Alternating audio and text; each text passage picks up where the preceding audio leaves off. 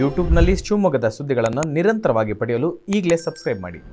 BJP Yuva Morcha ವತಿಯಿಂದ BJP ಕಚೇರಿಯಲ್ಲಿ ನರೇಂದ್ರ ಮೋದಿಜಿಯವರ ಎಪ್ಪತ್ತೆರಡನೇ ಜನ್ಮದಿನೋತ್ಸವದ ಅಂಗವಾಗಿ ರಕ್ತದಾನ ಶಿಬಿರವನ್ನ ಆಯೋಜಿಸಲಾಯಿತು. ಈ ಕಾರ್ಯಕ್ರಮದಲ್ಲಿ ಸಂಸದರಾದ BY Raghavendra KS Eshwarappa MLC ರುದ್ರೇಗೌಡರು ಇನ್ನಿತರರು ಭಾಗಿಯಾಗಿದ್ರು. ನಮ್ಮ ನಾಯಕರಾದ ನರೇಂದ್ರ ಮೋದಿ ಅವರು ಅದ್ವಿತೀಯ ನಾಯಕರು. ಅವರ ಜನ್ಮದಿನೋತ್ಸವದ ಪ್ರಯುಕ್ತ ಹದಿನೈದು ದಿನಗಳ ಕಾಲ ಕಾರ್ಯಕ್ರಮವನ್ನು ಹಮ್ಮಿಕೊಳ್ಳಲಾಗಿದೆ ಎಂದು ಬಿವೈಆರ್ ತಿಳಿಸಿದರು. ಈ ಕುರಿತಂತೆ ಇನ್ನೇನು ಹೇಳಿದ್ದಾರೆ ನೋಡೋಣ ಬನ್ನಿ.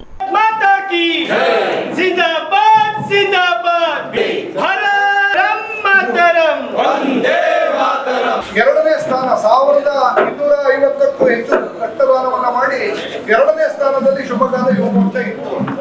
ಕಳೆದ ಬಾರಿ ಕೋವಿಡ್ ಆದ್ಮೇಲೆ ಅನೇಕ ಜನ ವ್ಯಾಕ್ಸಿನ್ ಅನ್ನು ತಗೊಂಡಂತ ಪರಿಣಾಮ, ರಕ್ತದಾನದ ಕೊರತೆ ಇದ್ದಂತ ಜಾಗದಲ್ಲಿ ಮಾತ್ರ ರಕ್ತದಾನವನ್ನ ಮಾಡಿ ಅಂತ ಹೇಳಿ ನಮಗೆ ಹೇಳಿದ್ರು. ಆ ರಕ್ತದಾನವನ್ನ ಅವಶ್ಯಕತೆಗೆ ತಕ್ಕಂತೆ ಮಾಡಿದ್ವಿ. ಈ ಬಾರಿ ಅತ್ಯಂತ ಗರ್ವದಿಂದ ಮತ್ತೆ ಅತ್ಯಂತ ಅಭಿಮಾನದಿಂದ ಹೇಳ್ತೇನೆ ಬ್ಲಡ್ ಬ್ಯಾಂಕ್ಗಳೇ ಸರ್ ರಕ್ತದಾನಿಗಳನ್ನ ಕಡಿಮೆ ಮಾಡಿ ಅಂತ ಹೇಳಿ ಯುವ ಮೋರ್ಚೆ ಕೇಳಿರೋದು ಈ ವರ್ಷ ನಾವು ಇಡೀ ಜಿಲ್ಲೆಯಲ್ಲಿ ಮೂರು ಸಾವಿರ ರಕ್ತದಾನಿಗಳನ್ನ ಮಾತಾಡಿಸಿದ್ವಿ. ಮೂರು ಸಾವಿರ ಡೋನರ್ಸ್ ಒಂದೇ ದಿನ ಡೊನೇಟ್ ಮಾಡೋ ರೀತಿಯಲ್ಲಿ ಯೋಚನೆಯನ್ನ ಮಾಡಿದ್ವಿ. ಯುವ ಮೋರ್ಚಾದ ರಾಷ್ಟ್ರೀಯ ಯೋಜನೆಯಂತೆ ಇವತ್ತು ಇಡೀ ದೇಶದಲ್ಲಿ ಒಂದೇ ದಿನ ರಕ್ತದಾನ ಶಿಬಿರಗಳು ಆಯೋಜನೆ ಆಗಿದೆ.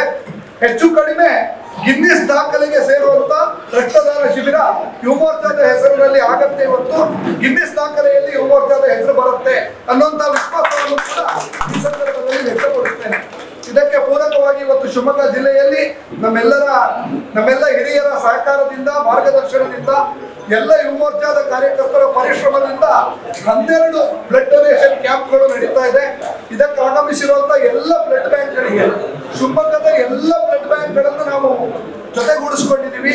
ಅವರೆಲ್ಲರೂ ನಮಗೆ ಸಹಕಾರವನ್ನು ಕೊಡ್ತಾ ಇದ್ದಾರೆ. ಶಿವಮೊಗ್ಗದ ವೈದ್ಯಕೀಯವರನ್ನ ನಮ್ಮ ಜೊತೆನಲ್ಲಿದೆ ಅತ್ಯಂತ ಹೆಚ್ಚು ಯುವಕರು ಬರ್ತಾ ಇರೋದನ್ನ ನಾವು ಗಮನಿಸಬೇಕು ಈ ಸಂದರ್ಭದಲ್ಲಿ. ರಕ್ತದಾನವನ್ನ ಮಾಡ್ಲಿಕ್ಕೆ ಬರ್ತಾ ಇದ್ದಾರೆ ಅಂತ ಹೇಳಿದ್ರೆ ಅದು ಮೂವತ್ತರಿಂದ ಮೂವತ್ತೈದು ವರ್ಷದ, ಇಪ್ಪತ್ತೈದರಿಂದ ಮೂವತ್ತು ವರ್ಷದ ಈ ರೀತಿಯ ವಯೋಮಾನದ ಯುವಕರು ಬರ್ತಾ ಇರುವಂತದ್ದು ಹಾಗಾಗಿ ಇದು ಯಾವುದೋ ಚುನಾವಣಾ ಸಂದರ್ಭ ವಿಶೇಷ ಸಂದರ್ಭ ಅಲ್ಲ. ನರೇಂದ್ರ ಮೋದಿ ಅವರ ಮೇಲೆ ಅಭಿಮಾನದಿಂದ, ಪಕ್ಷದ ನೆಟ್ವರ್ಕ್ನಿಂದ ವಿಶೇಷವಾಗಿ ದೇಶಕ್ಕೋಸ್ಕರ ಏನಾದ್ರು ಮಾಡಬೇಕು ಅನ್ನೋ ಮನೋಭಾವನೆ ಯುವಕರಲ್ಲಿ ಜಾಗೃತ ಆಗಿರೋದ್ರಿಂದ ಈ ಒಂದು ಕೆಲಸ ಸಾಧ್ಯ ಆಗ್ತಾ ಇದೆ. ಇದು ಸಾಧ್ಯ ಆಗಿರೋದು ಕೂಡ ಪಾರ್ಟಿ ವಿತ್ ಡಿಫರೆನ್ಸ್.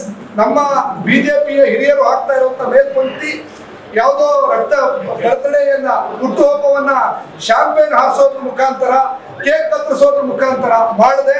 ಅದಕ್ಕೂ ಒಂದು ಸೇವಾ ರೂಪವನ್ನ ಕೊಟ್ಟಿರೋದು ನಮ್ಮ ಪಕ್ಷದ ಹಿರಿಯರ ಒಂದು ದೂರದೃಷ್ಟಿಯನ್ನ ಮೇಲ್ಪಂಕ್ತಿಯನ್ನ ಈ ಸಂದರ್ಭದಲ್ಲಿ ನೆನಪು ಮಾಡ್ಕೊಳ್ತಾ ರಕ್ತದಾನ ಶಿಬಿರ ಅತ್ಯಂತ ಯಶಸ್ವಿ ಆಗ್ಲಿಕ್ಕೆ ಮತ್ತೊಮ್ಮೆ ನಿಮ್ಮೆಲ್ಲರಲ್ಲಿ ಕೋರ್ತಾ ಮಾಧ್ಯಮದ ಸ್ನೇಹಿತರು ಅನೇಕ ಜನ ಇದ್ದೀವಿ. ಇಡೀ ಜಿಲ್ಲೆಯಲ್ಲಿ ಆಗ್ತಾ ಇರುವಂತ ಎಲ್ಲ ರಕ್ತದಾನ ಶಿಬಿರಗಳನ್ನು ಕೂಡ ದಯಮಾಡಿ ತಮ್ಮ ಮಾಧ್ಯಮಗಳಲ್ಲಿ ಪ್ರಕಟ ಮಾಡಬೇಕು ಅಂತ ವಿನಂತಿಯನ್ನು ಕೂಡ ಈ ಸಂದರ್ಭದಲ್ಲಿ ಮಾಡ್ತಾ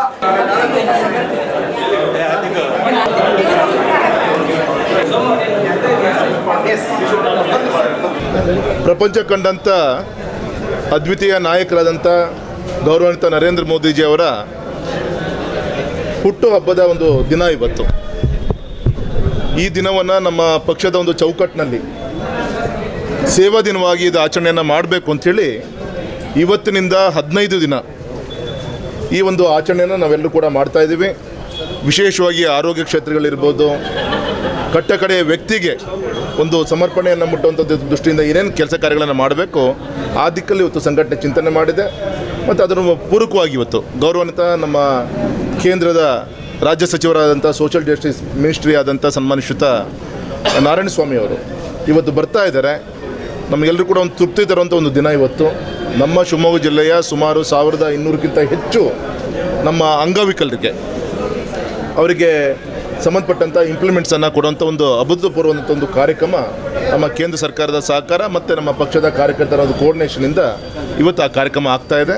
ಇತ್ತೀಚಿನ ಸರ್ಕಾರಗಳು, ಐದು ವರ್ಷದ ಸರ್ಕಾರ, ಒಂಥರ ಐದು ವರ್ಷಕ್ಕೊಂದ್ಸತಿ ಗುತ್ತಿಗೆ ಅನ್ನೋ ರೀತಿಯಲ್ಲಿ ಕೆಲವು ರಾಜ್ಯಗಳಲ್ಲಿ ಹಿಂದಿನ ಕೇಂದ್ರದಲ್ಲಿ ಸರ್ಕಾರ ಆಡಳಿತ ಮಾಡಿ ಮಾಡಿದಂಥ ಇತರ ಪಕ್ಷಗಳನ್ನು ನಾವೆಲ್ಲರೂ ಕೂಡ ನೋಡಿದ್ದೀವಿ ನಮ್ಮ ಐದು ವರ್ಷದಲ್ಲಿ ನೇರ ಜನರಿಗೆ ಮುಟ್ಟುವಂಥ ಜನರ ಸರ್ಕಾರ ಆಗಬೇಕು ಜನರ ಸ್ಪಂದನೆ ಇರಬೇಕು. ಆ ರೀತಿಯಂಥ ಕಾರ್ಯಕ್ರಮಗಳನ್ನು ಕೊಡ್ತಾ ಇರೋದು ನಾವೆಲ್ಲರೂ ಕೂಡ ಗಮನಿಸ್ತಾ ಇದ್ದೀವಿ. ಇಂಥ ಮಹಾನ್ ನಾಯಕನನ್ನು ಇಡೀ ಪ್ರಪಂಚವಿತ್ತು ಆ, ನೋಡ್ತಾ ಇರೋಂಥ ಈ ಸಂದರ್ಭದಲ್ಲಿ ಅಂಥ ಒಬ್ಬ ನಾಯಕನ ಒಂದು ಜನ್ಮದಿನಾಚರಣೆ ಆ ನಾಯಕನ ಜನ್ಮದಿನಾಚರಣೆ ಪ್ರಯುಕ್ತ ಇವೆಲ್ಲ ಸೇವಾ ಕಾರ್ಯಕ್ರಮಗಳು ಇಡೀ ದೇಶಾದ್ಯಂತ ನಾಟ್ ಓನ್ಲಿ ಇನ್ ಶಿವಮೊಗ್ಗ ಇಡೀ ದೇಶಾದ್ಯಂತ ಈ ಕಾರ್ಯಕ್ರಮಗಳು ಆಗ್ತವೆ. ವೈಭವೀಕರಿಸಿ ನಾವು ಯಾವುದೇ ಹುಟ್ಟುಹಬ್ಬ ಮಾಡಕೂಡ್ದು ಅಂತ ಕೇಂದ್ರದ ಭಾರತೀಯ ಜನತಾ ಪಾರ್ಟಿ ಹೇಳಿರೋದು ಬೇರೆ ಎಲ್ಲ ರಾಜಕೀಯ ಪಕ್ಷಗಳು ಕೂಡ ಒಂದು ರೀತಿಯ ಮಾದರಿ ಅದು. ಬರೀ ಸಿದ್ದರಾಮಯ್ಯನವರು ಎಪ್ಪತ್ತೈದನೇ ವರ್ಷ ಆಗ್ತಿದ್ದಕ್ಕೆ ಎಪ್ಪತ್ತೈದು ಕೋಟಿ ರೂಪಾಯಿ ಹಣ ಖರ್ಚು ಮಾಡಿ ಒಂದು ಉತ್ಸವ ಮಾಡಿದ್ರು. ಒಬ್ಬ ವ್ಯಕ್ತಿ ವೈಭವೀಕರಣ ಮಾಡಿದ್ರು. ಆದರೆ ನರೇಂದ್ರ ಮೋದಿ ವಿಶ್ವ ನಾಯಕರು ಅವರ ಈ ಸಂದರ್ಭದಲ್ಲಿ ಪ್ರತಿ ಬಡವರಿಗೂ ಅನುಕೂಲ ಆಗಬೇಕು ಅಂತೇಳಿ ಪಾಕ್ಷಿಕ ಕಾರ್ಯಕ್ರಮ, ಸೇವಾ ಚಟುವಟಿಕೆಗಳು. ಇದು ಈ ರೀತಿಯ ಹಮ್ಮಿಕೊಂಡಿರೋ ಉದ್ದೇಶವೇ ಬಡವರ ಪರವಾಗಿ ಬಿಜೆಪಿ ಇದೆ ಅಂತ ತೋರಿಸೋದಕ್ಕೆ ಹಾಗಾಗಿ ಅದರಲ್ಲಿ ಇವತ್ತು ಯುವ ಮೋರ್ಚಾ ಒಂದು ವಿಶೇಷವಾದ ಕಾರ್ಯಕ್ರಮ ಮಾಡಿದೆ. ನಾನು ಯುವ ಮೋರ್ಚಾ ಕಾರ್ಯಕರ್ತರಿಗೆ ಅಭಿನಂದನೆ ಸಲ್ಲಿಸ್ತೇನೆ. ಈ ಪಾಕ್ಷಿಕವಾಗಿ ಇನ್ನೂ ಸಮಾಜ ಸೇವೆ ಇದೇ ರೀತಿ ಮುಂದುವರಿಸ್ತೇನೆ.